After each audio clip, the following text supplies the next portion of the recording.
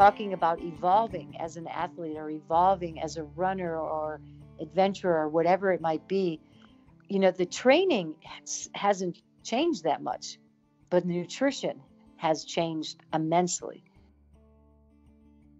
So, needless to say, I was completely unprepared for what I was about to to do, but it was also one of the best experiences of my life because of this sheer unknown the sheer unknown of like going around a corner and being like oh my god we're still climbing up this hill? Like i have never seen anything like this or done anything like this.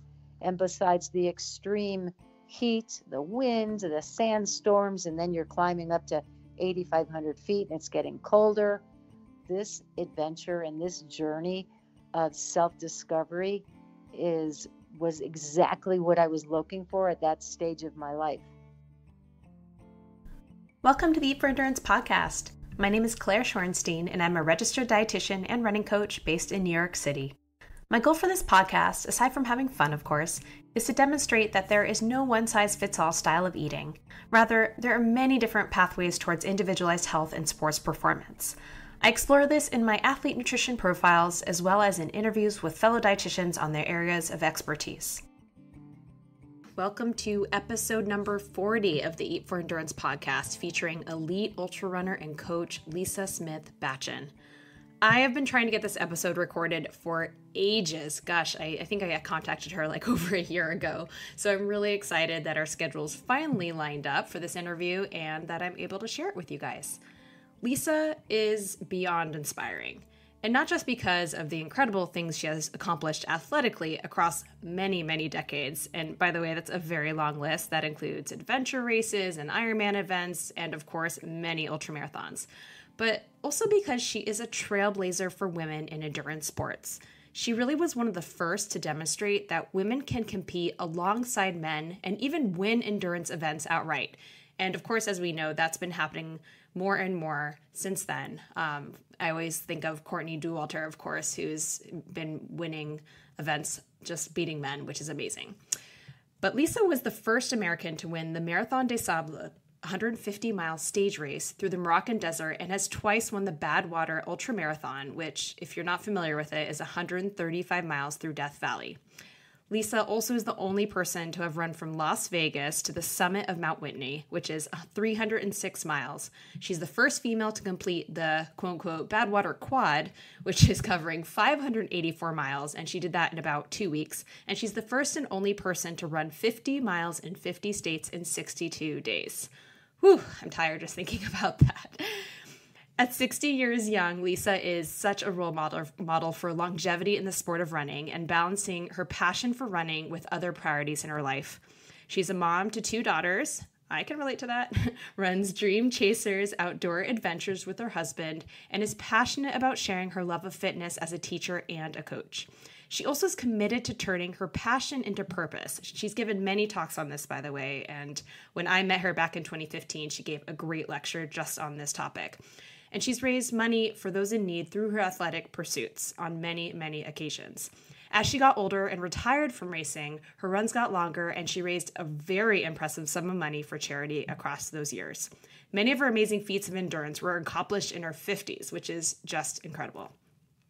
We all have so much to learn from Lisa, and believe me, she drops many pearls of wisdom during this interview, so you really want to pay close attention and maybe even take some notes. I loved her energy, I loved her attitude. I just had such a great time chatting with her.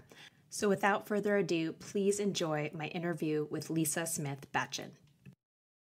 Lisa, welcome to the Eat for Endurance podcast. I know this interview has been very long in the making, and I really appreciate your patience as we tried to line up our schedules. So, thanks for coming on the show. Absolutely. Thank you for having me. Of course.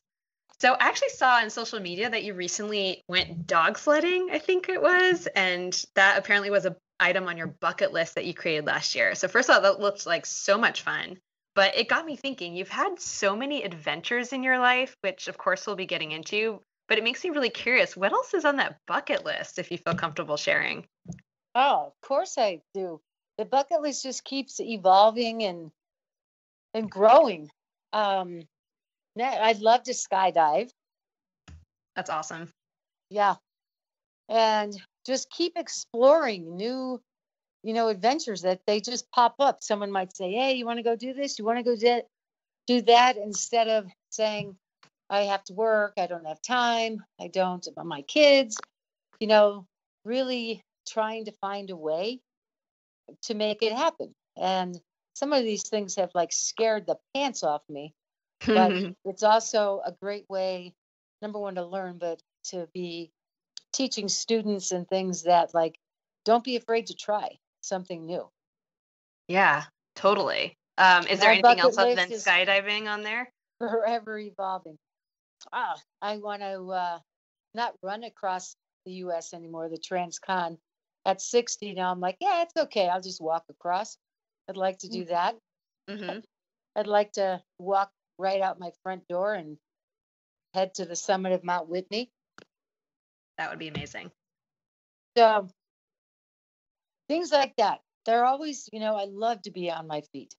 I love, oh, love, absolutely. love to be on my feet. And most of my bucket list adventures are really like on my feet.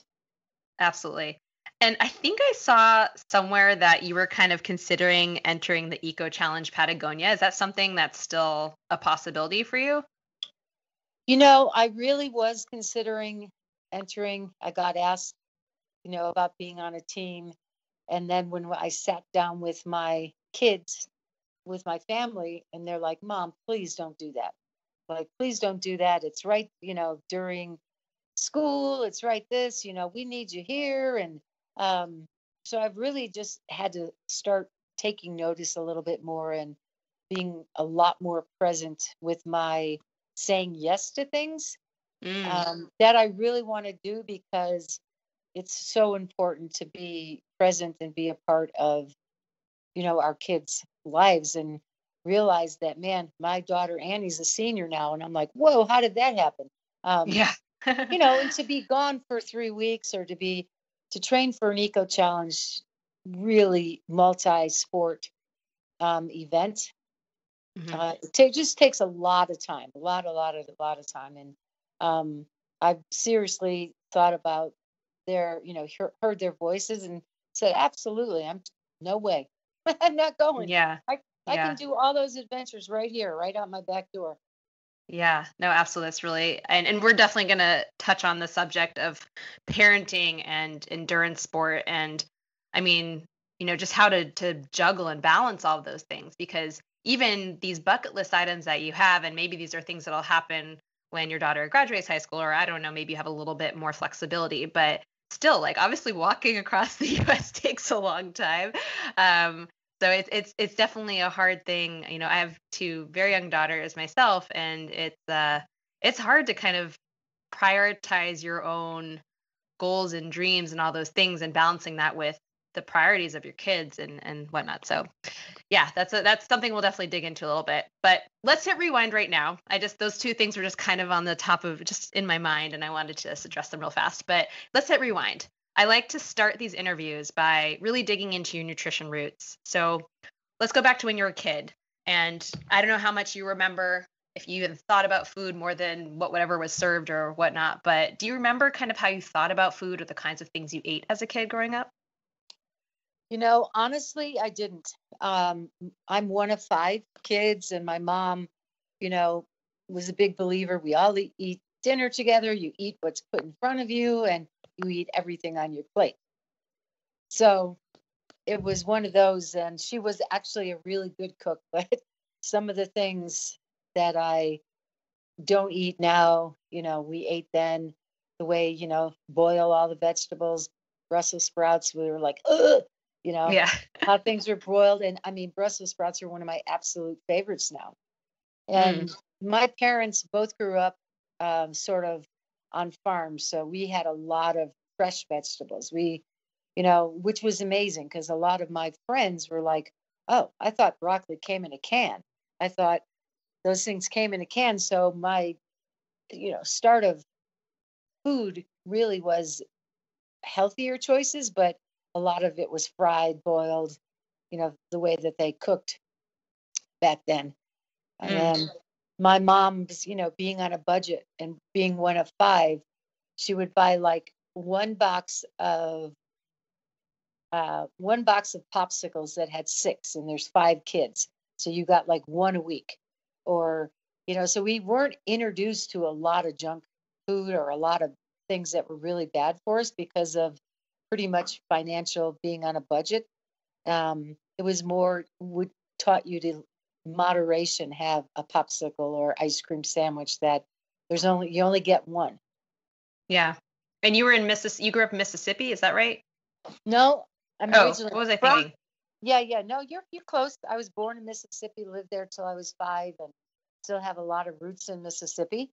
But both of my parents, my dad from Louisiana, my mom from Mississippi, so our roots are all very southern, Mm. and that's the way that they cooked, and that's the way that they, you know, black eyed peas, cornbread, turnip greens. I mean, we were eating collard greens and kale long before most people even heard of it. Yeah, yeah, for sure. Um, yeah, the whole wellness world has turned that into a whole different thing. Oh yeah, But, yeah.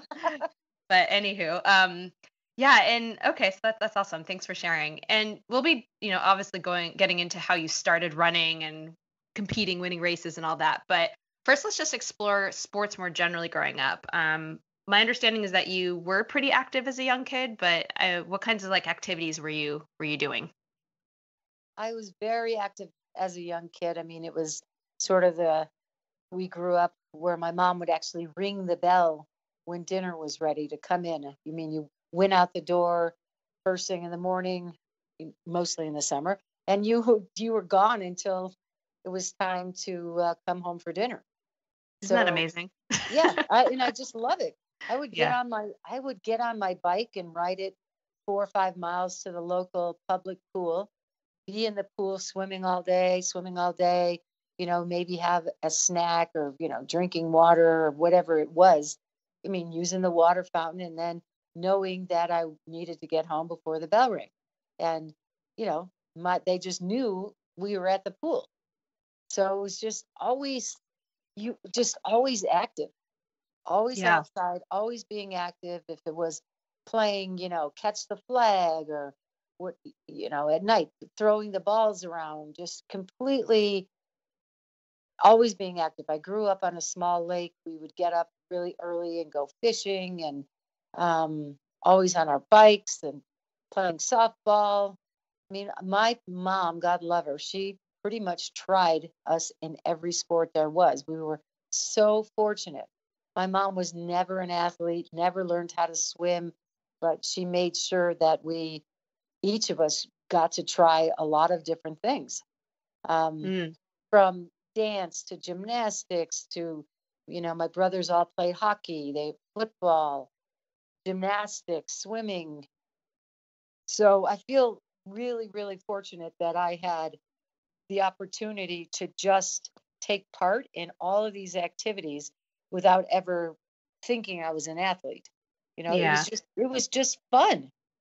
It Totally. just And that's how sports that's how sports should be when you're a kid, you know? ab- absolutely all fun. You know, just fun and creative and try this, try that. You know, try tennis.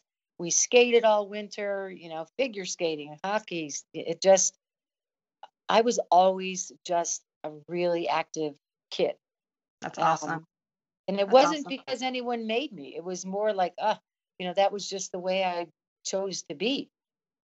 Mm. And what made you decide you wanted to start running? Because I, I know you've spoken, you know, many times about the whole, you know, trying out for the high school cross country team and not making the team, and that was like a very, you know, momentous time, or you know, it was a huge disappointment and all that. But what kind of was so was running to you just another thing you wanted to try, or did you place more kind of were you more invested in that for some reason, or yeah, talk to me a little bit about that. You know, I think through everything I did growing up, like you were either riding your bike or running, and you know, you didn't even know you were running. You didn't Sure. even, you know, you were you were just playing and running and running and running, and then the opportunity came up. Some friends were trying out, you know, for the cross country team and the track team. I was actually on the swim team. Had, you know, never done any of that, but I but I knew I loved to run, but I had never competed, never stepped foot on a track. or done any of that. And when I tried out for the, the team, I didn't make it. So I was like, what? You know, it was the first time in my life that I actually sort of felt um, defeated like, wow, I'm just not good enough. Because I never considered myself like, you're an athlete. Mm-hmm. You know, you're an athlete. You're an athlete, or you're, you know, you're growing up in an athletic home, or your family's very athletic. It was more that that's just the um, way that we live. Yeah. Being yeah. being active. So it was just very disappointing the way that I was told, like, you know, Smith, you're not on the team. And I'm like, what? You know, you're not on the team. And it it just hit me so emotionally hard. I mean, I can still, if I think about it, feel the way that I felt. Um, and sadly, I carried that on with me for several years because I didn't know what to do with it. Yeah, I, and that, that was kind of my next question is, you know, the impact of not making the team because you were, I mean, sport was such an important part of your life.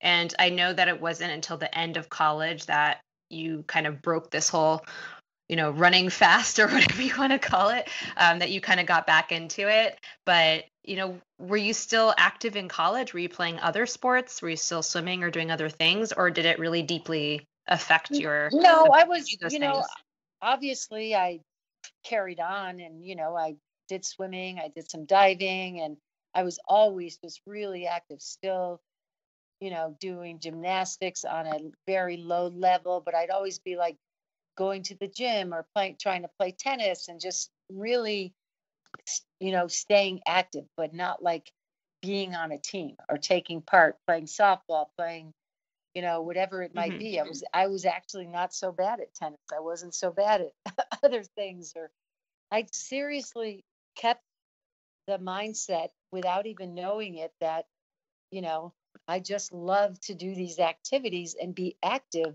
but i never looked at it as um, it's a sport that you're good at or a sport that you can excel at um, yeah.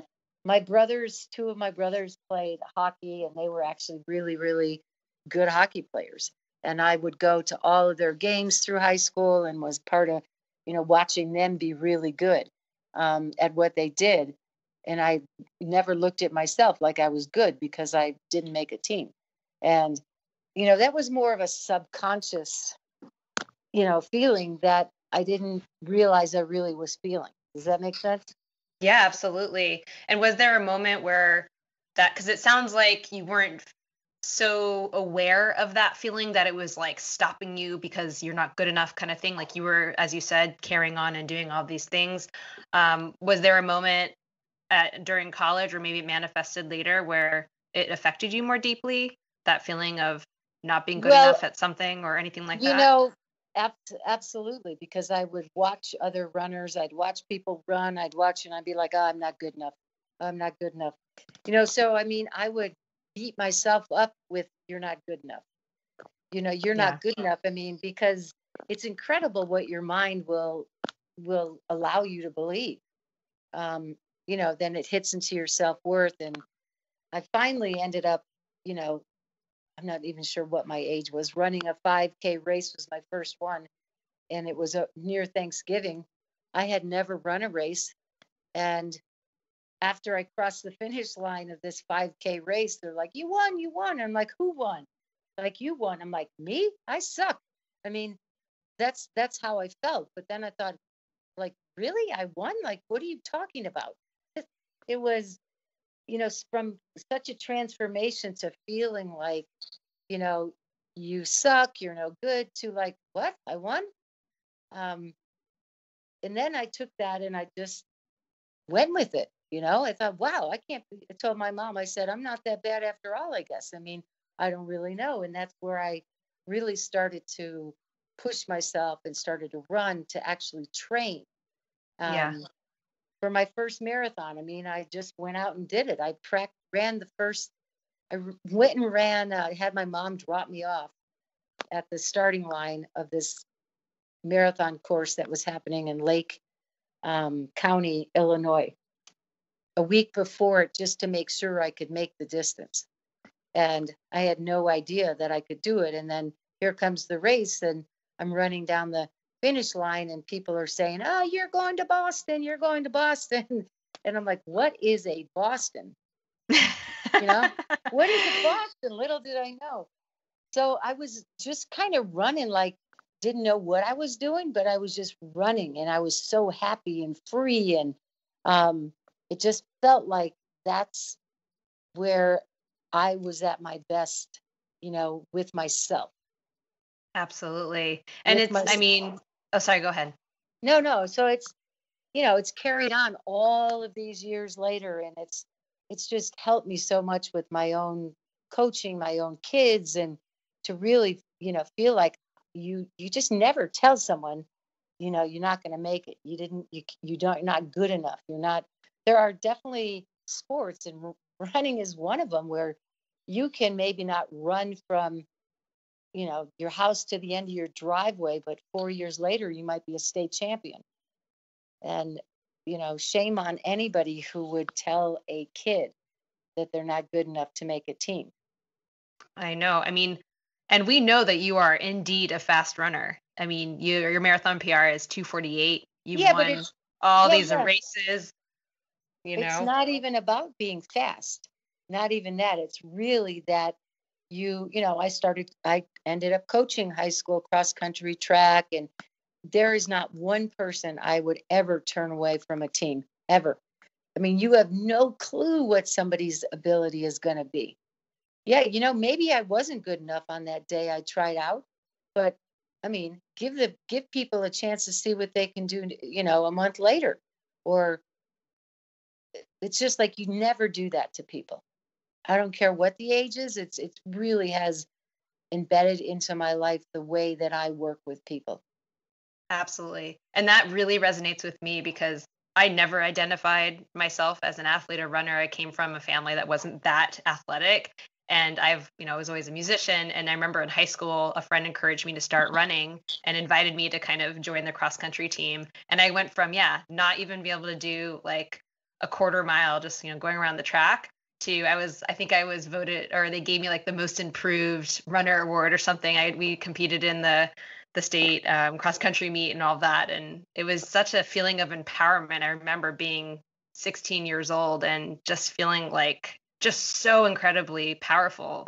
Just having developed this fitness and proving to myself, mostly to myself, that I could do something like that. So I do really love that you're you know inviting so many people into the running world and people who may not believe in themselves, but maybe, and even catching them before they go through an experience like you did. So they don't have to go through years of thinking they weren't good enough. So that's awesome. So thank you for that. I appreciate that. oh, yeah. Uh, well, I mean, yeah. I can't, I can only imagine we all go through things like that, but it, you know, it was definitely a defining moment for me where you really don't even realize how impacted you are until it switches and it changes and you're actually like ah i am good at this. You know i could be good at this you know? I could Absolutely. be good at this. I mean so i mean everybody deserves you know equal opportunity and if a kid wants to go out for a team man you find a place for them. You yeah. just do. You find especially running my gosh i mean i wouldn't care if you're sitting on the bench and you got to improve and improve but you know there's the only way is up Absolutely. Absolutely. And so you did this 5K, and I um, I watched one of your TED talks, and you kind of go through that whole story of the turkey trot in more detail, which was awesome to to hear. And um, but it's such like a big turning point in your life, knowing what we know now, of course, about how your running career would play out. But um, but yeah, why don't you kind of walk us through a little bit more? I mean, you mentioned the marathon that you ran, but kind of how this whole thing unfolded with running longer distances, running ultras, at what point you kind of started running professionally, um, and how the nutrition, because you know we are going to be talking about nutrition, and how kind of the nutrition started to evolve with all of this. Because at this point, you're no longer one of five kids in your parents' house, like you are. I'm assuming, or maybe not. I don't know. You, but you're out on your own, or have more control over what you're placing on your own plate.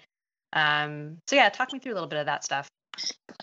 You know, I love the word that you used, evolving, because I think that that's where constantly evolving. And um, people always ask about, you know, your training. What were you doing? How did you know when you were back then? I was like, I didn't even know I was training. I mean, it was like I was just running.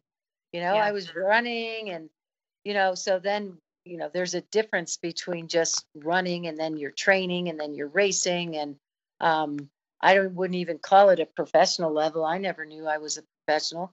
Um it's sort of just the evolving of how a person um, evolves into themselves daily was is just such a beautiful thing and um, i went from you know the 5k to the marathon i went 5k to the marathon to run you know really working on a 10k and trying to get fast and i just i'd run a race a 10k on saturday and one on sunday. I mean not many coaches are going to recommend that but that's just i was doing that because i was feeling so alive and i and i could.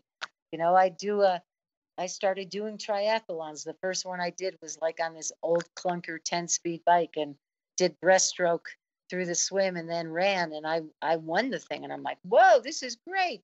You know i can't believe i can do this i can't believe i can do this. And i just kept going going going and did a lot of ironmans and did you know running. And then i did not you know ultra running to me was just i never heard of it.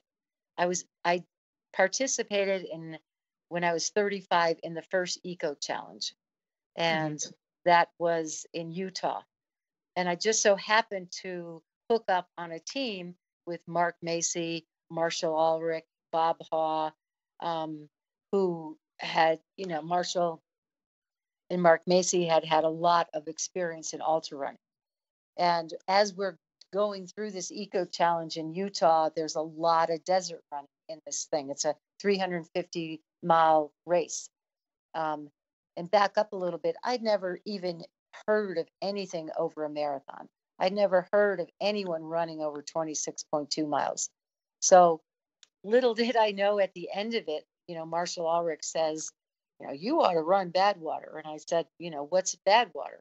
And he told me it's 135 miles through Death Valley, blah, blah, blah. And I was like, you have to be kidding me.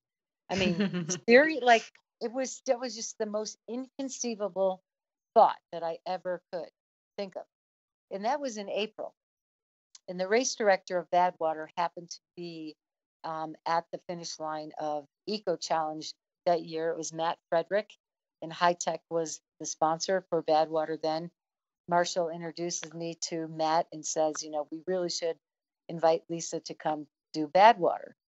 Um, so Marshall, you know, told him she did great through the heat and the desert and, you know, really good runner. And I'm just like, wow, listening to who is this guy, right?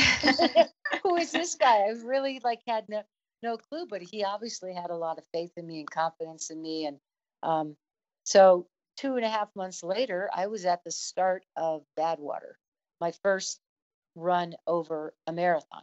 oh my wait, Badwater was your first ultra? Oh my goodness. My first anything. And wow. So, you know, That's I asked. Marshall, like, how do you train for something? Like, what do you do? You know, he's like, well, you know, just wait. Marshall's so casual, you know, so Mhm. casual, so laid back, and so confident and believing. Like, you know, how hard could it be, right? Um, you know, just do an do some extra miles, train with a few extra clothes on, and you know, everything. I mean, we showed up with a U-Haul trailer truck to crew out of.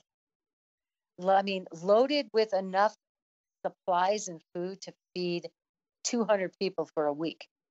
Like, like there was, and in that was just red Gatorade. That's all we had. Red Gatorade, jelly beans, and sweet rolls, and just crap, crap, Mm. crap, crap. Uh, and I'll never forget pulling up into Death Valley to Stovepipe Wells to get gas and opening the door and seriously being in this state of shock of how hot it was. Like I had no idea.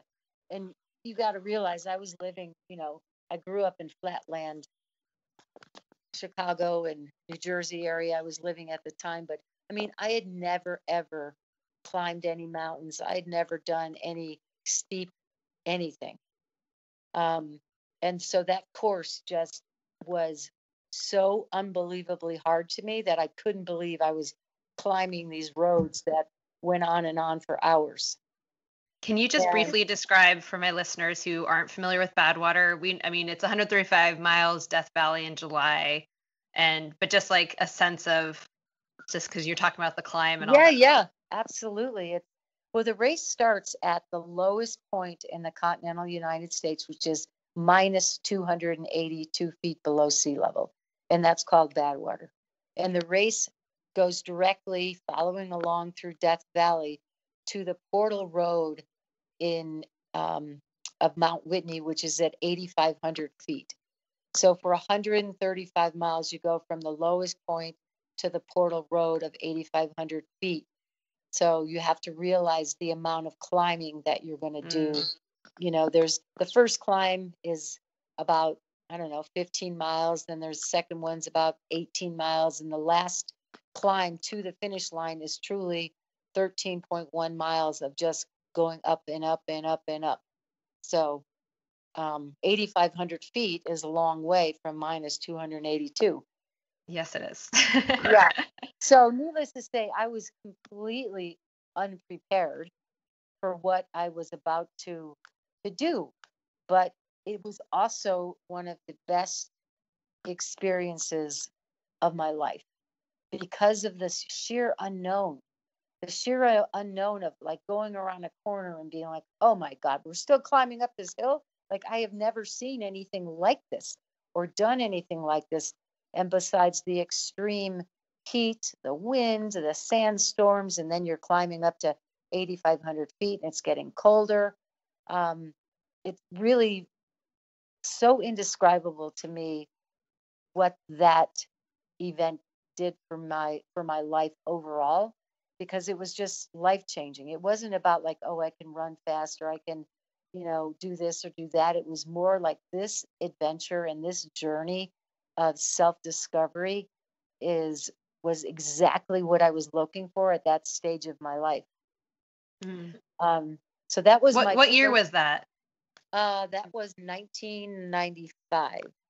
Okay, got it. And you was and you went on to win it in 1997 and 1998, which is amazing, right? Correct. I mean, I seriously not only I fell in love with the place of Death Valley, the mountains, the beauty, the everything, you know, because I kept yearning to go back there. Like, this is like my home away from home. I can't wait to go back. I can't wait to go back. And it's not, you know, there's not every race you're going to say you want to go back to.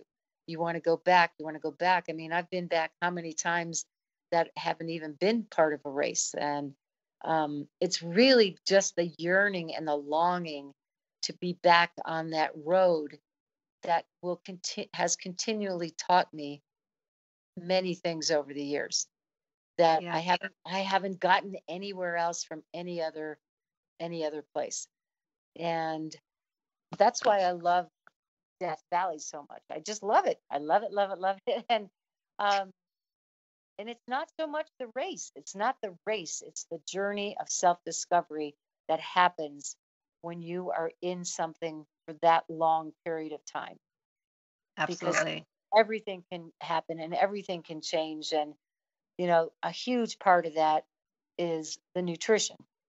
You know, talking about evolving as an athlete or evolving as a runner or adventurer or whatever it might be, you know, the training has, hasn't changed that much, but nutrition has changed immensely. Tell me all about it. I want to hear everything. yeah, immensely. Besides like shoes and gear, and you know, holy cow! I mean, the first time, I mean, there was, you know, take salt. Well, salt was like you drank red Gatorade loaded with sugar till your mouth was, whoa, you know, you looked like you had red lipstick on because that's all there was. There Mm. um, and it was just basically eating junk. It's amazing how, you know, we got through. Uh, and Were you eating real food at all? Like, I mean, over that long of a distance, I imagine, or I hope you were eating something other than, or taking another something other than Gatorade and jelly beans. Oh yeah, yeah. Okay. Gatorade, jelly beans, cookies, you know, muffins, donuts, you know, start, you know, getting milkshakes, but things that were just what I would never do anymore. What I just wouldn't do because you know, you never, you didn't know you felt bad to actually feel good. Yeah. You know, and I tell people that I coach or even friends of like, you know, try this, try that, try this, try that. And that when you find the magic of what your nutrition plan should be, in my, my personally is always evolving, completely evolving because every year I'm a different person. Every race is a different kind of climate or event or distance or whatever it might be of how many calories you might be able to tolerate or what you should be drinking. And, you know, there is no one size fits all. Of course. There That's just the whole isn't. point of this podcast. yeah, I mean, I there's there is no way I could do what some, you know, yeah, I have one gel every 30 minutes for 100 miles. I'm like, you know, i i would be done after like 10 gels because Yeah. I just I can't tolerate them. So what I learned best for myself was like the high sugary things just weren't working, but those were the like the choices you had back then. At what point, like, because I mean, the 1990s were some of your your prime racing days. I know, like, you continued and you're still doing these, you know, really amazing big adventures and events and such. Um, but when you were kind of more competitive, or maybe it wasn't about being competitive, because I know you're saying it's not necessarily about running faster the race, but you were winning things. So when yeah, you, yeah, yeah.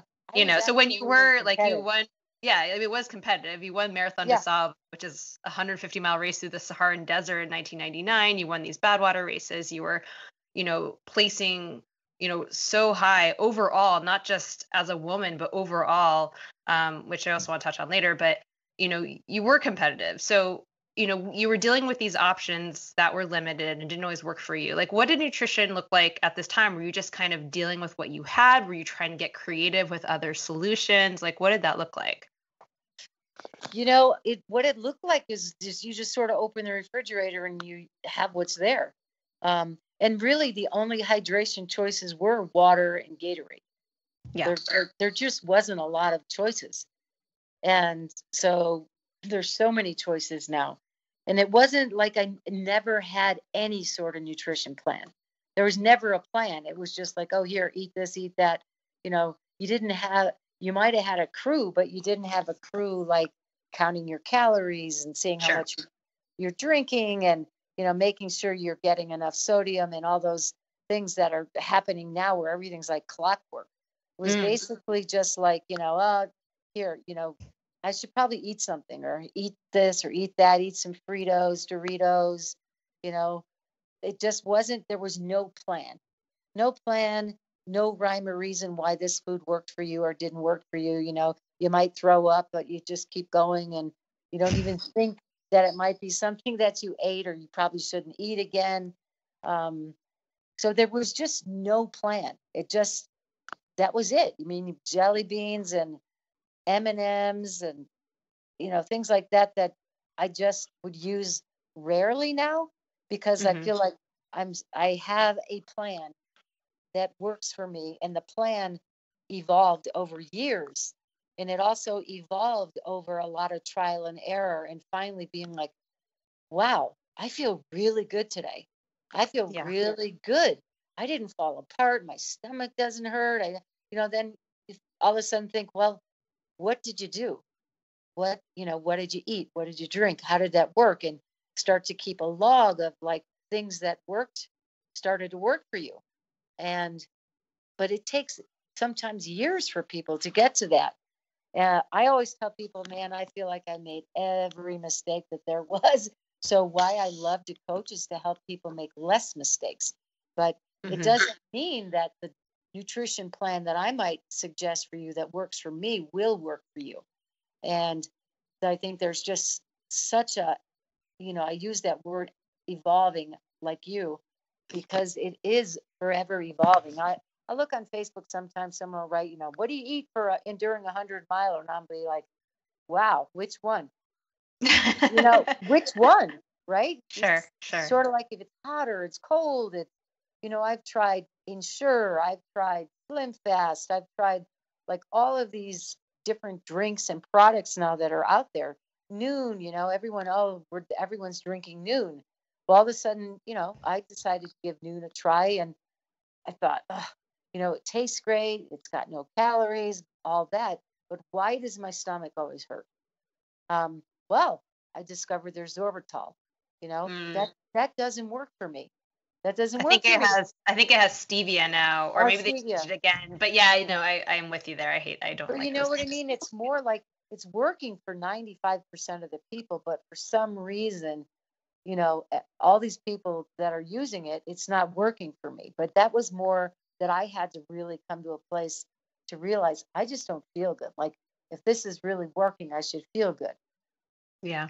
And it's, you know, it's interesting is, I mean, here you are winning these events and just, you know, crushing it. I mean, but but not even with a nutrition plan or nutrition that makes you feel good. Just imagine if you had kind of dialed that in earlier. I mean, obviously there weren't the options that we have now, but um but You even like I mean, these races were in extreme conditions, you know, like Death Valley, like obviously it's crazy hot uh, Marathon des Sables, you're also traveling internationally, and you have all the logistics, and you're isn't it you're you're carrying all your stuff too, right? You're carrying everything that's on your, you know, back on your pack. And, you know, that evolved is that evolved as well is like, you know, you have to carry all your own food for, you know, the six, seven days. And what are you going to take? Well, the first year I went there, I mean, I had way too much food because I was just packing, you know, candy bars and, Mm. you know, things you're never going to, you shouldn't be having anyway. And then, you know, up to my last year and now coaching people, it's just so dialed in.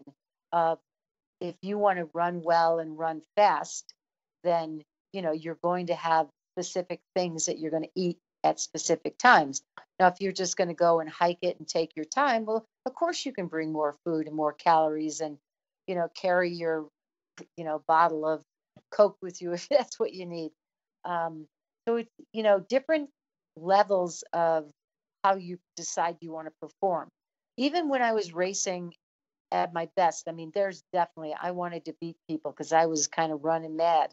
I wanted to beat people. And even when I was beating people, I still didn't feel happy. It was not until years later, but it was more not like beating people. It was like I really had something to prove to myself. And, but I never, all of those years of winning and winning, I never had a nutrition plan. So for me, it was when I started to have a plan that I started slowing down. But was Um, that because of just being older, or because I know at some point, you know, you started Yeah, a yeah, family and that whole stuff? Okay. I think, I think so, but it was Hopefully the nutrition like- didn't slow you down. No, no. I think it was more like, you know, sometimes the unknown is what drives people. Sometimes the unknown of, you know, not knowing everything that you're going to do drives people and helps people improve. Um, but it mean, you know, I was racing and doing really well, but it doesn't mean that I was actually taking good care of myself or feeling that great, you know? So once I started feeling good with the nutrition, you know, I was way past having to beat people. So it was, you know, does that make sense? And it was like, wow, I feel so good. You know, right now I could go out and say, you know, for the 60 and over, I want to get out there and beat everybody that there is in this age group. I, I have completely lost the um, desire to like step to the starting line of a race and look around to see who's there and who I'm going to beat. I would rather be in the back of the pack and walk and talk and you know do my own things but i sure appreciate all of those people who do still want to do that you know Yeah. it just it's not i haven't lost the love or the desire i've just lost the desire to have to compete And I mean, it wasn't that long ago. Um, like, I mean, I want to circle back to this time in your life to t- to dig a little more into specifics in nutrition. But what you said just now about moving from that competing to being in the back of the pack reminded me of when we met in 2015. You were, um, you know, you were gearing up for um, for doing the run across America, right? And you gave this wonderful talk. I remember at the conference about turning passion into purpose you're yeah you're gearing up to run 3100 miles across the country for charity which you know you as you got older i know you were doing more of these like longer efforts and for charity which is just incredible and but you were trying to break the overall time record i know that unfortunately your gallbladder had other plans and that was a huge disappointment i'm sure but that that was obviously you competing in a way in terms of breaking a record. You weren't, I mean, I know it's a little bit different, but is, I mean, do you view that as kind of that competing? Are you no longer even wanting to do things like that? Or do you view that as in kind of like a separate category? Um, I view that as the, a large turning point in my life. I view that as, you know, I worked so hard and I trained so hard. I really believed I could do it. I really believed, you know, I believed in myself. It was not so much ego at all. It was more like I believed that I was capable and I really wanted to try to do it. Um, but obviously, you know, the universe had different plans for me. And as much as I trained and everything was just dialed in, I mean, most people who train and plan to go across the country barely get to the starting line. Um, so I just have a lot of gratitude that I was even able to get that far. But mm-hmm. yeah, for some reason, you know, I'm in the best shape of my life, the fittest I've ever been. And on day five, like it just wasn't meant to be. You know, my body, the gallbladder, and I really have to look back at like the diet you know the diet the nutrition the you know i was eating clean and trying to do all these things but then on the run i was eating a lot of crap and a lot of you know your body starts to crave like a lot of fat the further you go the things like that i wasn't eating in training. And i was trying to like blame it on that no i can't eat that again. Um but you know it didn't work out. My gallbladder needed to come out. My mom had hers out my sister my brother. You know, there's thing, there's no way I could have planned that any better. It just, that was it. Um, yeah. You know, I'm laying there in the emergency room and the guy says, your gallbladder needs to come out. Oh, that's okay. And I said, what are you talking about? Well, can we just do this and I'll rest a day or two and we get back on the road? Um, he's like, no, I'm so sorry. That's not going to happen. I just was in such disbelief of that. And it's that forever changed me. Honestly, I I had to go home, and my kids came home from school and they're like, "Mom, mom, what are you doing here?" Like, you know, they had expected me to be gone for a long time, and yeah. you know, in tears, I had to tell them what you know what had happened, and I was needed the gallbladder out because I and it just was such a transformational period for me in a really positive way um, after I felt so devastated and really defeated and let a lot of people down and you know all that but once i got the gallbladder out and i started to feel good really good i had no idea i had felt so bad um, hmm. and it was just really clear it was amazing like you know the things i would have missed that my kids were part of you know the, i would have like it was completely meant to be that it was not my time to do that. And I got knocked out. And, you know, it's just like I would have missed some of these things of my kids growing up. And it makes me about cry now. like, but that was my transit, you know, it's like I have no desire to break any record, to beat any people, to be to be that person anymore.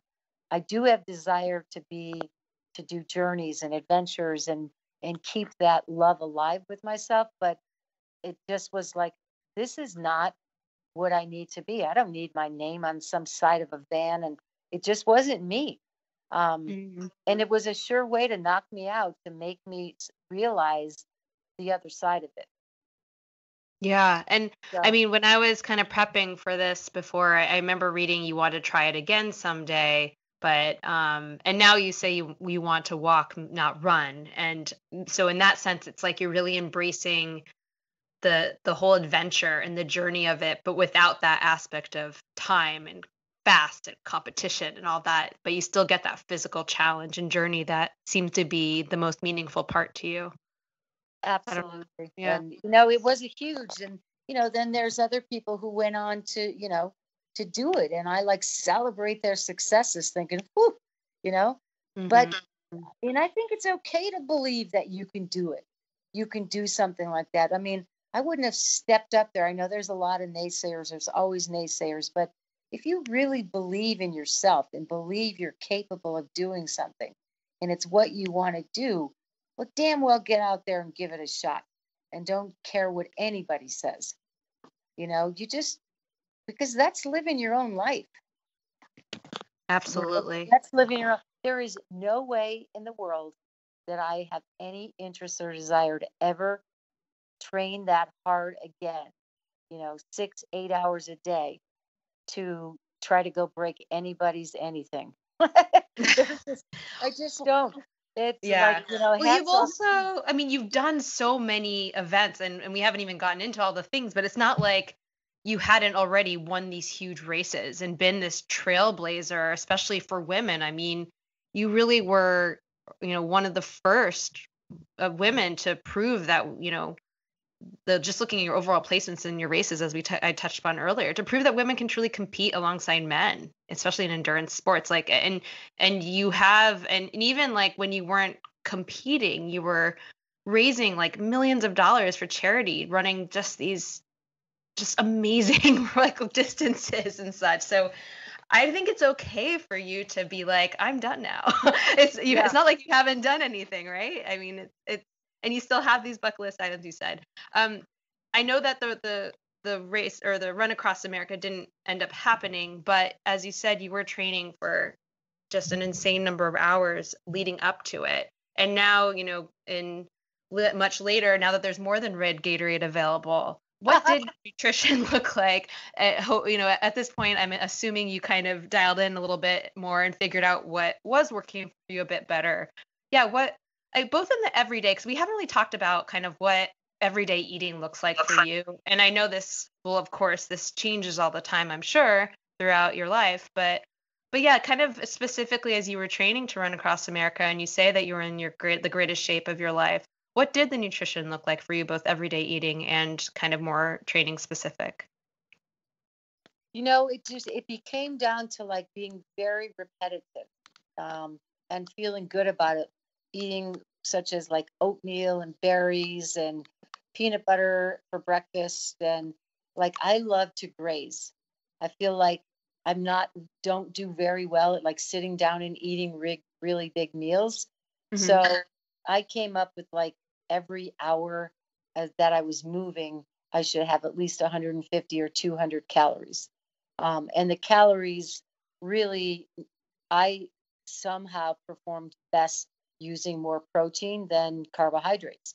So things mm. such as avocados, string cheese, um, turkey, you know, things that gave me, I definitely feel better when I have more protein than carbohydrates. Now, I know that doesn't work for everybody, but it just absolutely worked for me. Um, and drinking tons of water, you know, just lots and lots and lots of water, having Coke believe it or not, super tired, feeling like feeling like Coke somehow is the thing my go-to thing when I'm tired and hot. Mm-hmm. Not not drinking a whole bottle of Coke, but drinking a cup of, of Coke, but lots and lots of water. And I started drinking um, flavored waters that were like the what do you call it? The like seltzer? Yeah, like the seltzer water. I love that. Um, any vitamin water I've really started to drink. The um, Emergen-Cs that have a thousand cal a thousand grams of mm-hmm. minerals and vitamin C. Drink that with water. I mix it. You know, a lot of times I use half water, half um, whatever it was I was going to drink. Real juice, coconut mm-hmm. juice, real orange juice, real like fresh squeezed orange juice, fresh pineapple juice. I just really started to feel like real food, real fruit, real, you know, was the way for me to go. And that's pretty much how I lived my life. Like I would eat on the road what I eat every day. Mm-hmm, and mm-hmm. I don't foresee that for myself, it really needed to change a lot. Now, I wouldn't sit down in the middle, you know, I've got 20 miles in and sit down and eat a big, you know, kale salad. I might sit down and be taking a break and eat like a half of a turkey sandwich with Vegenaise or mustard. Um, I'm not a really big bread eater, but when I was in an event, I would be eating bread. Yeah. You know, because that was part of like the carbohydrates and the substance. Mm-hmm. Mm-hmm. Um, yogurt. I love like Ensure every once in a while a bottle of Ensure because of the chocolate and over the years how Ensure has evolved. Evolved like from you know just using it in a you know for elderly people. yeah.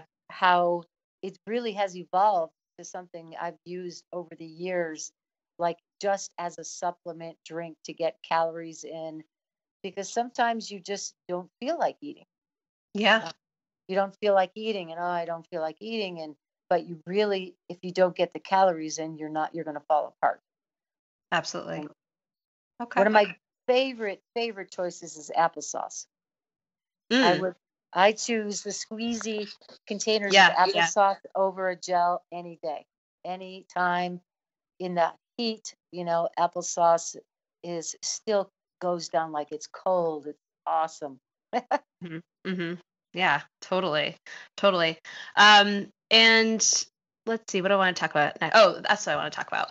Um, I, I've heard you speak about keeping things fun and flexible in training, and but that you used to be more of like a rigid athlete, and maybe that was more in the 1990s, or I don't know when that was. But do you feel like this kind of fun and flexible approach that applies to nutrition as well? And my guess is yes, because you talk about kind of experimenting and all that stuff, but just kind of curious if if if you kind of feel like that plays into your nutrition.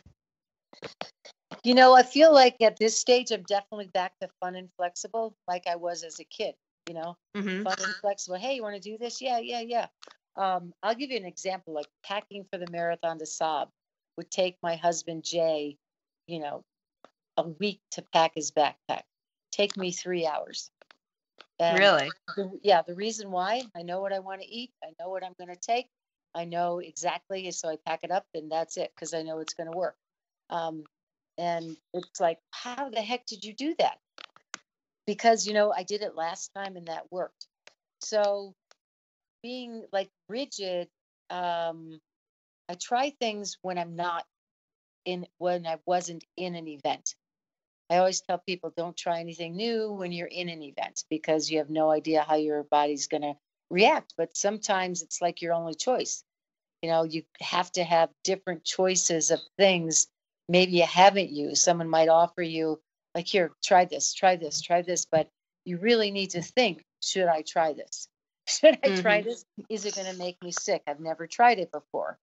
Um, but I'm definitely, you know, evolved and I'm back to like the fun and flexible. Did you it ever did the rigidity ever spill over into how you ate in terms of like in more of a disordered eating way or like was it ever kind of would you say like bordering unhealthy or did you always feel like you were giving yourself as like much fuel as your body required?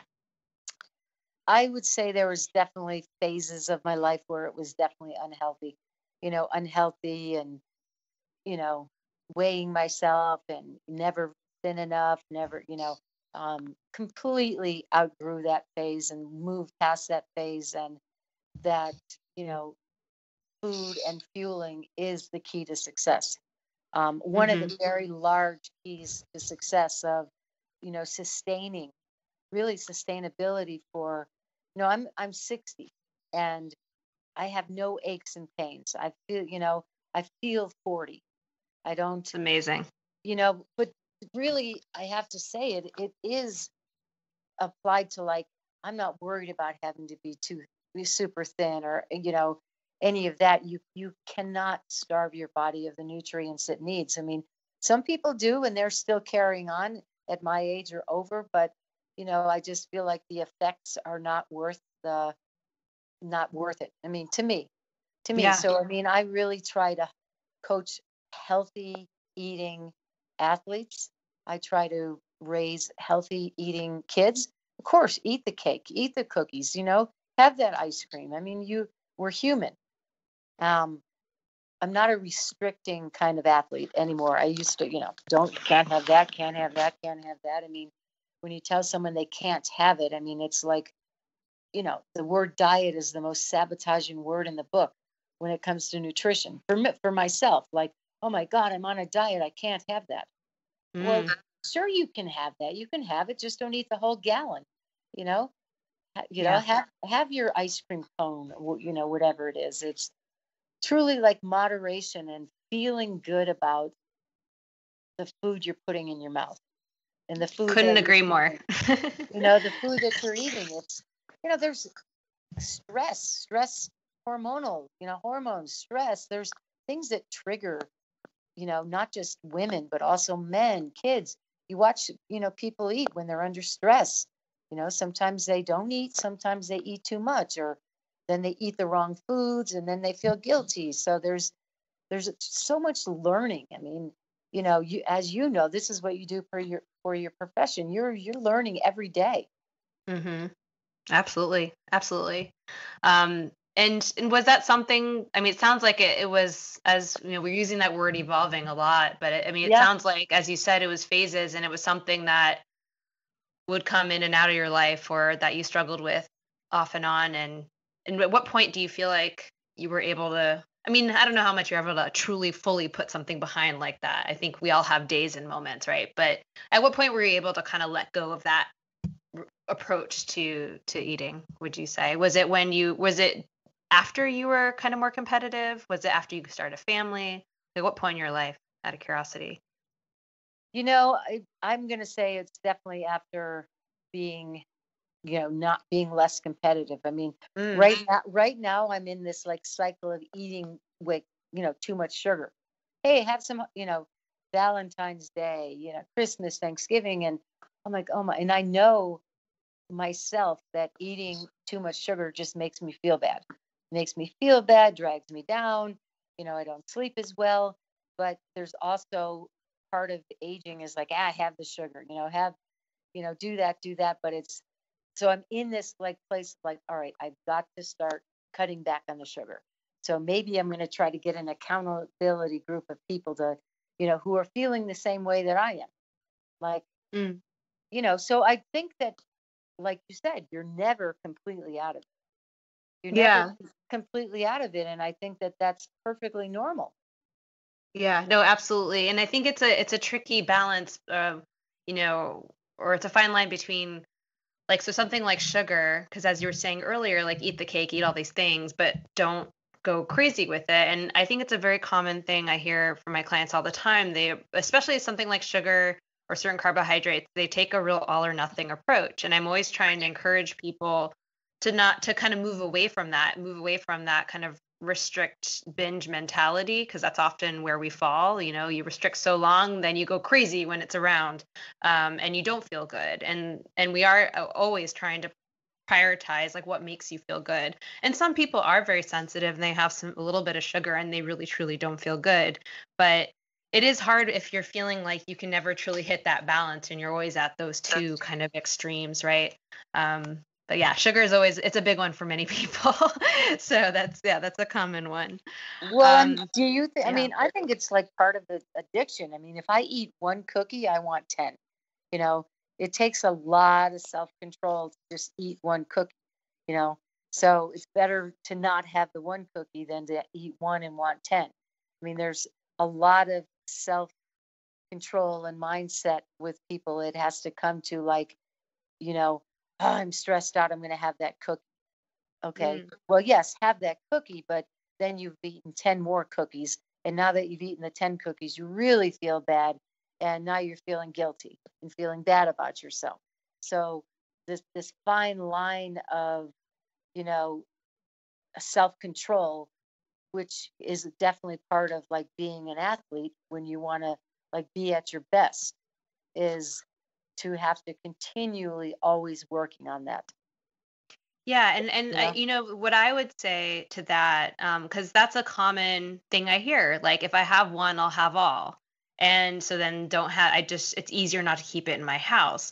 And my question to that would be, well, is that coming from a place of you feel like you're not allowed to have the cookie, or the cookie is bad, or the cookie makes you bad, or the cookie will make me fat, or like like what is the belief surrounding the cookie? You know, because so often people struggle with control over something because they believe that they're not allowed to have that thing and it's and it that food has like a power over you in a way versus it just being another food. And yes, there's no argument. A cookie is not a health food. We're never going to argue that's healthy for you. Um, and it shouldn't, you know, be something that you eat all the time in huge amounts. Um, if you, well, I mean, you can, I guess, but you will, there will be consequences eventually in some way, shape, or form. But that's usually like often what I explore with people and just ask them to kind of get curious about. But anyways we don't have to go down that hole but that's that's often what i think about and many people have different approaches to that and many people do end up feeling like they can't keep certain foods in the house because they're you know it's hard. But the only problem with that is there will always as you say valentine's day or certain holidays there will always be these things around. And at some point you know to kind of achieve peace around these foods we have to figure that out even though it's a hard one. And with stress i always tell people like food can be a coping mechanism, but it should never be the only one, right? You know, we have to have other tools, and whether it's running, and I know you yourself have spoken about, you know, suffering from clinical depression, and running is, um, is you said it's it's running is your drug, right? And and that's a big one to you know physical activity as just this outlet and and helping with mental health and just overall well-being, right? So people turn to many different things, I think. Um, and I was going to ask you about mental health anyways, because I mean, geez, in this pandemic, mental health is a big one, right? Um, so I don't know. Those are kind of just a couple of my thoughts on that. I'm not sure if you have any thoughts on it, on what I just said. Yeah, no, I absolutely agree with you. It's, you know, it sometimes it's an inner struggle, you know, most often for, you know, you know, there are so many amazing healthy cookies you can eat now that are really great besides the cookies but you know it comes really it's it's not about the cookie. It kind of goes on to and rolls out to other areas of your life if you're like i can't have that. I should mm. not have that. I mean like yes you can. You could have one cookie. Now you need to figure out how you're going to just have the one cookie because there's i think that is such a great lesson not just with the cookie but in life you know how am i going to just you know do one race versus 10 races? Or how am i going like you really have to get to a place of feeling um, satisfied with yourself and good about what you're doing. And yes yes it's absolutely. you know in the, the cookie's a great example of of how it could be with so many different areas of life yeah, and and this reminds me actually, you've spoken a lot about MTRC, or which stands for Make the Right Choice. Yeah. And I and you've heard, you know, I've heard you speak of this, you like using this instead of DNF, which for anyone not aware stands for Did Not Finish. And of course, you're talking about with MTRC or Make the Right Choice. You're of course talking about, you know, listening to your body, protecting your body, and um, and thinking of using that instead of you did not finish because you know often with dnfs like it's this thing of frustration or anger or shame or whatever it is but instead no you made the right choice. And i was kind of thinking of it as well making the right choice that can totally be applied to or have nutritional implications as well. And when i say right i don't mean necessarily healthy but really truly like what feels good to you at a particular time which you've spoken about in this whole interview about like just experimenting evolving and and things changing all the time. So i think mtrc can totally be used for nutrition. I don't know. That's just like when you were talking about it when i was again doing some prep for the show i was like oh i could totally think of that with nutrition. Well i like that. I like that you're using that. I mean make the make the right choice made the right choice really sort of just became my own personal philosophy. And i'll give you a great example of I had one of my students was actually crewing me for a race and uh, you know i just wasn't feeling well. I didn't have it in me. I felt like i should be at home. Like i was so not there you know and i just didn't feel like dragging it out and just to keep going and to keep going. So i got in the front seat and i said you know i'm i feel really good about not continuing. And she looked at me. She goes is this where i try to talk you into not quitting I said, no, this is where I tell you about making the right choice. This is where I tell you that, you know, I have thought about why I don't want to continue. I'm not DNFing. I don't feel bad about it. I really just, you know, feel like I'm making a right choice for myself right now, right here, right now, no regrets. Um, you know, go home the next day, you wake up, you're like, no regrets. Because I mean, that DNF is holds big over people. Um, yeah. So big over people. And the DNF, like, you know, like having the 10 cookies or eating the whole bag of cookies. It's like you fricking failed. And you failed and you failed and you failed. Um, but it's like, okay, I am going to have the one cookie, the two cookies that I'm, ma- I'm making that choice to not have anymore. Um, you know, or I'm making that choice that I can take the day off because I don't feel well. You know, not making a DNF or feeling bad about yourself because you took a day off or you missed a day of your training or you missed it, you know, you missed this or you missed that because that just builds up over days and years and you know of, of feeling this guilty guilty feeling of not being worthy. Mm, yeah absolutely. And and as you were talking about like training for that run across america like you reach the starting line probably i mean in large part i'm sure because you were respecting your body more. I mean people often don't reach starting lines because they train through pain because they don't take those days off when their bodies are telling them otherwise you know? So making the right choice is so crucial in so many aspects of life and particularly when it comes to to sport. So i really i, I just really like that kind of way you talked about it so thank you for that. Um, i want to i want I want to talk about family now, as you, of course, have two daughters. Um, what can you share about balancing like training and parenting? Um, I, I, mean, you're of course a coach and you're teaching all these classes and just juggling so many things, spreading yourself very thin, as you told me for this interview. But you know, you're trying to be there for your kids, but you're trying not to let go of your own goals and dreams. Any kind of tips or things you want to share on that topic? You know, it it's it is every day is you know a new day, and kids as they like your yours are little. Um, mm-hmm. When my kids were little, it was really just they're you know they're two years apart, becoming incredibly creative with how am I going to keep training. Um, I wanted to make my kids a, a part of what I was doing, not make it seem like they were in my way or you know I can't do that because I have kids. I mean, so when I my kids were young, I'd carry one in a backpack, I'd push one in a stroller, in, during nap time. So I, ma- I made them part of what I was doing because, you know, selfishly, I didn't want to feel bad and, you know, the guilt that comes with it. Then, as they started to get a little bit older, I'd push one. I had two chariots. I had one in the front, one in the back. So I'd push one and pull the other mm-hmm. during, during nap time. So they're getting their time, I'm getting my time, and we're, you know, together. It really was always about just being creative you know, a baby monitor on, I'd be out in the driveway doing a, a workout while they're sleeping. You know, so I did a lot of things while, you know, and wrote this story one time while you were sleeping.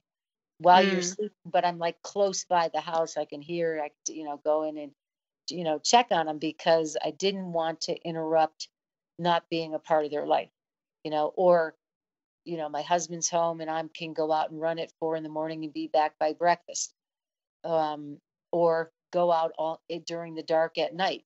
I mean, you really have to think about um, how you're going to cycle your goals and your dreams and your training into being a good parent, working full time, and it, it's challenging. You you know, parents are made to sacrifice for their kids, and yeah. the kids should not have to sacrifice for the parents.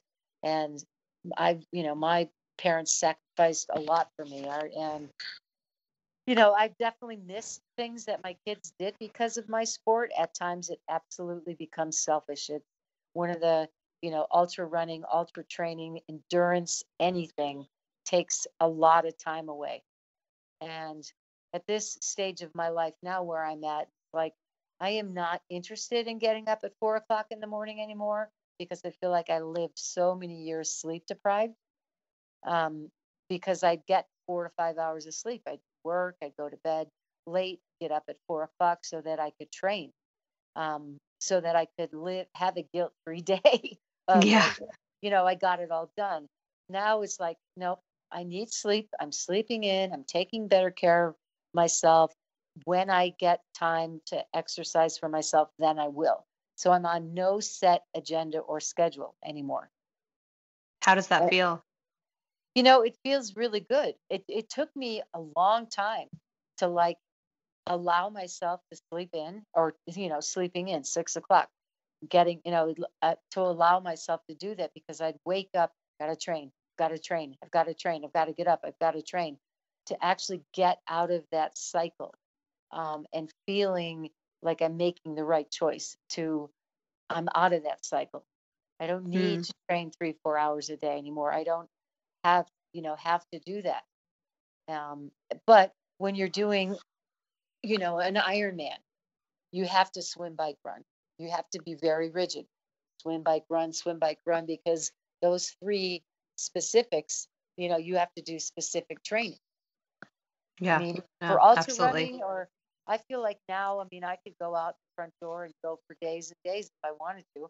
Doesn't mean I'm going to be fast, but I, you know, snowshoe, cross country ski, like all of the activities that I can do that I consider activities uh, I can do help me just to stay strong to be able to do everything else in life.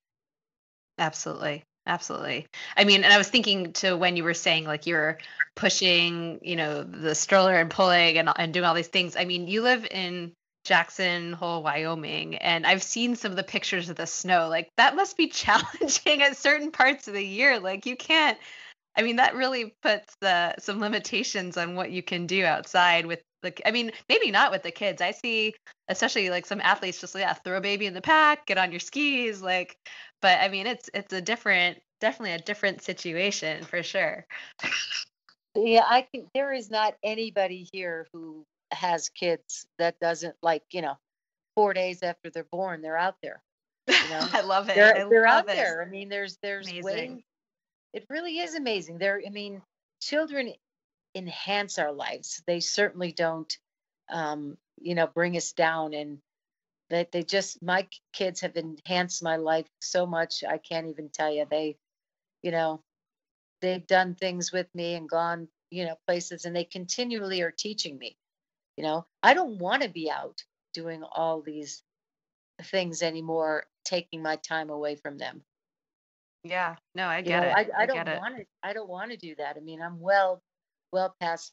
You know, well past that, and I'm well past sacrificing. You know, staying up all night long to go out. You know, to because I have to get a workout in. I'm perfectly fine, like doing one hour or two hours or teaching classes and never even getting to run today. I mean, I won't have time to run today. That's fine with me doesn't even i'm not even thinking about it anymore but you know let's put this into context for my listeners here i mean obviously you're like an ultra endurance athlete you do all this stuff i mean you're you're teaching all day like fitness classes like you are very active you're not doing your own workouts right but i assume you're still quite active even on the days you're not running or i think like the other day i saw on social media like you just walked for two and a half hours and like found all this change on the ground or something. Yeah, I did. yeah, so you're so active. Yeah, that's amazing, by the way. Yeah, that's great. Yeah. That's good. Um, so yeah, just a little, just a little context for my listeners. You're still very active. I know, I know it's all relative for you though, right? Um, I well, when I'm when I'm teaching classes, I'm mm-hmm. teaching. You know, I might show okay. them how to do an ex. I do not participate in my own class. I'm ah, really okay. a form critic and you know all that, but it's I'm absolutely not training for anything. I'm training just to be happy and feel good and that, that's it totally um, is there anything you'd like to say about women in sports just you know your own experience being this trailblazer and inspiring countless other women? Um, you know and, and just kind of anything you'd like to say about all these women out there including yourself who are accomplishing such great things. Um, anything especially with daughters and role modeling all of that. But again you, i mean you really were one of the first to show that you know women are competing with men especially in these long distances. And i know courtney dauwalter is you know she's won outright you know races and there are lots of other women out there coming after you but i just i don't know anything you want to kind of say about that you know it's a, it's really remarkable to to be in this place in life and think like geez how did i get here right you guys uh, you know, to be a trailblazer and to actually sit back and think, wow, maybe I was. You know, you were. I'm saying you're a legend. I'm like, well, how do you become a legend? What is? I mean, because things go so quickly, so so quickly, and you know, my greatest advice to people is don't rush it. Don't run away from things. Don't you know? Run to things that are healthy and positive and worthy. Um, and never ever let anybody tell you you can't do something or you're not capable or you're not good enough you know step up to the plate believe in yourself you know give it your all i mean you never ever want to live with regrets or i wish i would have or i should have or i could have. I mean because you can. We really can and women have you know i look at maggie and i look at like i love following these you know young people and let alone young but you know people older than me that are just crushing it. Yeah. You know there there is no limitations. There is nothing that can limit you unless you truly allow it to you know people who have massive disabilities and illnesses and all kinds of challenges you know that i've not had are crushing it and there's so much out there now that can be achieved that there should not be any reason why anyone would want to not do something that's on their heart. I mean, you just don't wait for it to come knocking at your door. You got to go after it. Yeah, absolutely. Thank you. Thank you for that. Um, I know you and one of my past guests, Marshall Ulrich, are good buddies, and you guys have known each other for a really long time. And I want to ask you one of the same questions that I asked him, as you are both such incredible role models models in terms of longevity in the sport. So, like Marshall, you accomplished these amazing feats of endurance well into your 50s, such as the Badwater Quad, um, which was just incredible. And as you enter your 60s, you're obviously still going strong and just doing all sorts of great stuff. So, yeah, what tips do you have for my listeners in terms of just remaining physically active, healthy, and strong, especially in endurance sports as you age? You really just have to take care of yourself. I mean, there's don't put yourself last. I mean, us, you know, mothers are always putting themselves last. You know, I'll wait till tomorrow. I'll wait till next year. I'll wait till next month. I'll wait. I'll wait. I'll wait. I'll wait. I mean, don't wait. Don't wait. There is always a way to work things out. I mean, because it's like I woke up and here I am 60. I'm like, how the heck did I get here? Um, you know, but I can also look back and be like, man, I have done a lot. I have lived a really great life because I'm not sitting around waiting. And, you know, don't wait to retire. Don't wait till the kids are out of school. I mean, there's so many things that you can do like today, right now, to start towards a path. I mean, a lot of people don't have a dream. They don't know what they want to do. I mean, that's one of my mm-hmm. greatest parts of coaching is like, what do you mean? Well, we're going to find you something. You know, what excites you? It doesn't have to be running or triathlons. I mean, especially with nutrition. I mean, nutrition is an everyday event that happens in your life, everyday event that you are constantly working on, thriving on, you know, where you, Claire, you know, just can help so many people that have no idea they're not even feeling their best. Yeah. I mean, I know what it's like to be at my worst, and I know what it's like to be at my best. And to know that is actually to go through experiences um, and you gain wisdom. I feel like us older, wiser people are, you know, women wise with wisdom, right? That's kind of a chapter I want to write one day. Is just like as you age, you get wiser, you have more wisdom, and, you know, be willing to take chances and let fear guide you sometimes to be like, oh, here's my friend. I'm afraid to do that. Well, don't don't let it hold you back. Absolutely. It, you know, I'm 60. I'd love to go do six crossings of Death Valley. You know, why not? Love it. Right? Why not? Love, and I'd you would totally crush it. I don't even care if I'd crush it, but you know, I'm going to wait till my kids are a little older, or you know, they're they are older. I mean, Annie's graduating. My God, it's like ah. Um, but you know, I visualize one day that when I want to walk across, you know, my kids might come out and crew me, and we we do things, you know, you know together that but you never know you never know but you, you got to keep planning you have to keep dreaming and if things don't work out do not even regret it because something else something better is waiting around the corner you have no idea what it's going to be That's awesome. Thank you for that. And by the way, you haven't written a book, have you? You know, I have started a few times. I keep saying you need to write a book, Lisa. You need to write a book. I would Seriously. like to. I mean, I know I've started, I've started, I've started, and you know, never finished. And then I think, why would anybody want to read it? Oh my Yeah. goodness, are you kidding? You No, I'm not kidding. But. People would read your book. You've just provided so many amazing pieces of wisdom in this interview that are so inspirational, and you've lived such this full life. I would love to see it all laid out in a book. Really, truly. You should go for it.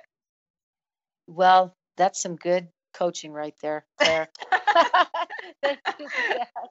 Thank you for that. All right, let's Uh, wrap things up. Let's wrap things up with my quick bites question. Then I know you got to be out of here. Um, so, what is your favorite meal or snack when you're in a hurry?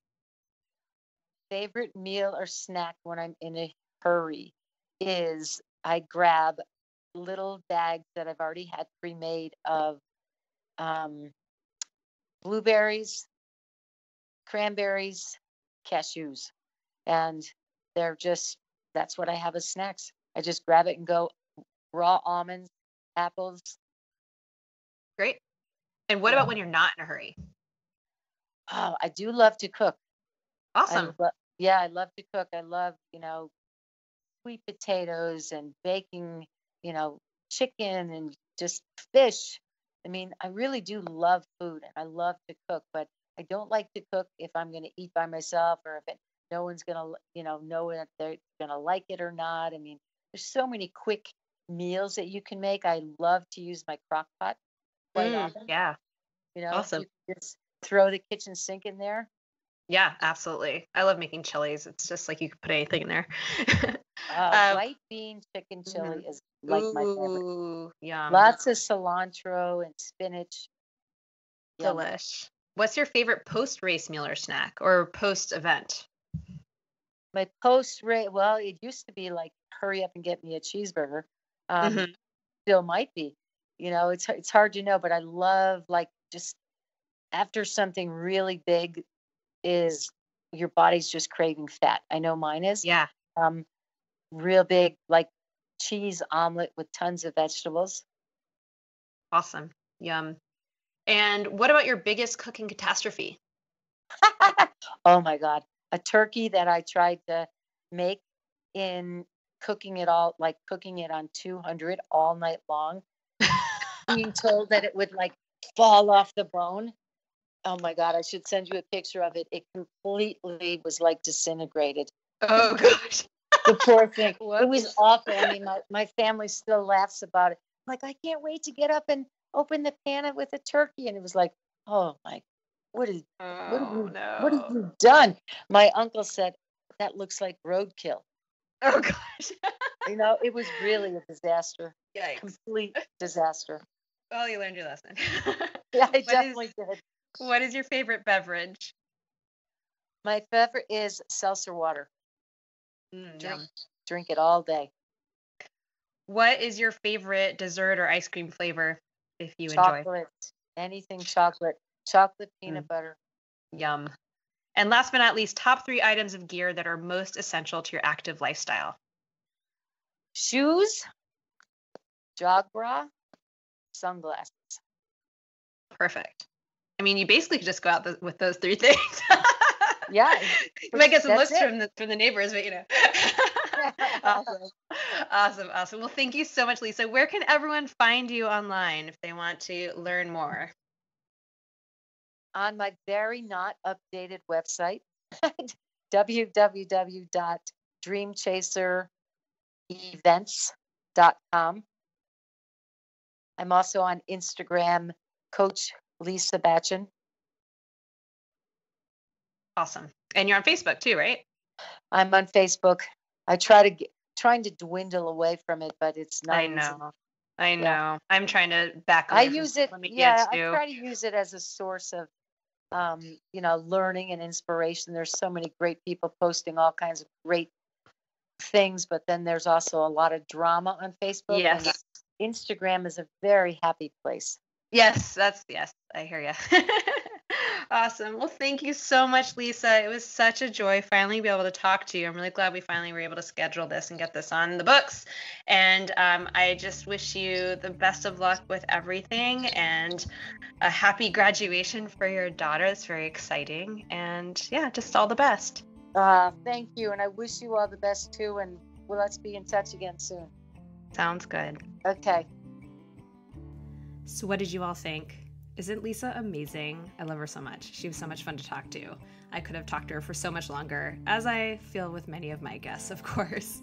Lisa, thank you so much for being so generous with your time and for sharing your athletic and nutrition story with us. I know I'm not alone when I say, hint, hint, we can't wait to read your book. no pressure, though. Just kidding. Um, no, seriously, though, write a book. We would love to read it. Anyways, thank you all for your support and continuing to listen to the show. It is so much appreciated. As I always say, if you haven't already given me a rating and review on iTunes and you are enjoying the show or just want to give me feedback, would love for you to go on to the iTunes page and visit that and uh, give me some stars and a review and whatever you feel like doing. And of course, always feel free to get in touch with me. I, uh, even though I'm moving to California, I'm still accepting new clients, although taking a little time off to get settled. But I will be accepting new clients again later in April. And I uh, would love to hear from you um, if you have any topic or guest requests or anything like that. Just an FYI, I probably will be taking a little time off from the podcast. I don't have any more guests lined up just yet, although definitely some things in the works, but nothing's scheduled as I really do need a little time to focus on client work and just getting settled in California. But don't worry, I'll be back soon. It won't be too long. I'll try not to take too much time off this time. But of course, if you haven't already listened to my other 39 episodes, they're all on there and ready for you to check out. All right, guys, have a good one, and I look forward to, to talking to you all soon.